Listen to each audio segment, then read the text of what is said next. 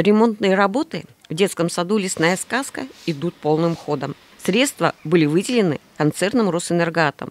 Еще в начале лета определили объем работ. И вот уже ремонтный сезон вышел на финишную прямую. Уже сейчас закончено утепление полностью детского сада, замена окон, замена дверей. То есть наш детский сад уже мы утеплили, сделали его комфортным внутри. А сейчас снаружи идет декора... Э, отделка декоративными панелями, такими вот красочными, яркими. Наше такое солнышко оранжевое, синее, такой стабильности, цвет верности нашему детскому саду. То есть э, сейчас полным ходом идут работы именно по отделке. Уже окончательное завершение, близится завершение работ по, по ремонту фасада.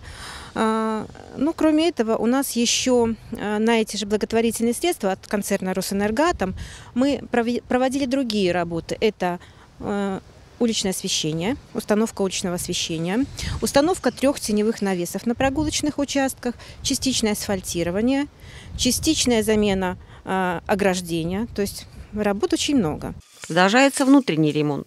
Рабочие меняют линолеум в группах и спортивном зале.